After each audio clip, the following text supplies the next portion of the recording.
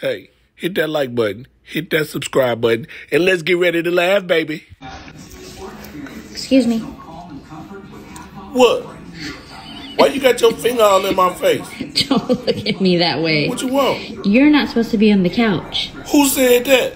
You were not supposed to be on the couch. Whatever. This is our couch. Do you even care? Nope. I didn't think so. Yeah, mama leaving now. What's up with all that mess you was talking? Come on, fight me now, kitty. Hold up, is she coming back?